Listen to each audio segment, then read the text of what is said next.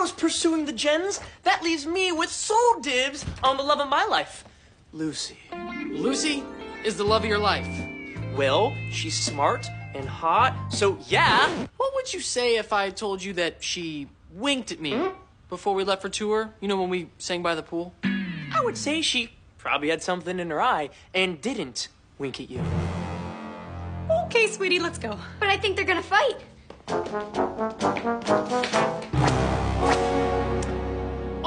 I'm saying is, is that she winked at me. And all I'm saying is that you should follow the rule of dibs, which states that the first person to utter the word dibs has proprietary claim on all car seating, remote controls, found money, tasty snack foods, and girls.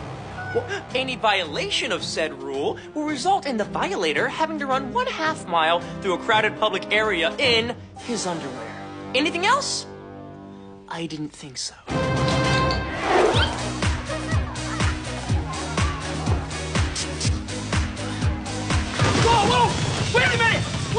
Hey, where are you taking me?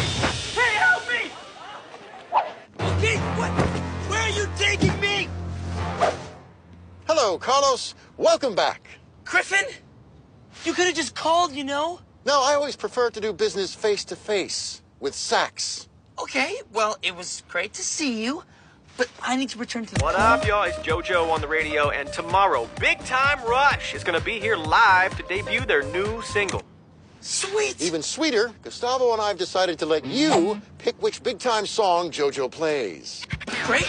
Um, okay, uh, I, I pick, uh, Love me, love me. I agree. Let's go tell Gustavo. wait.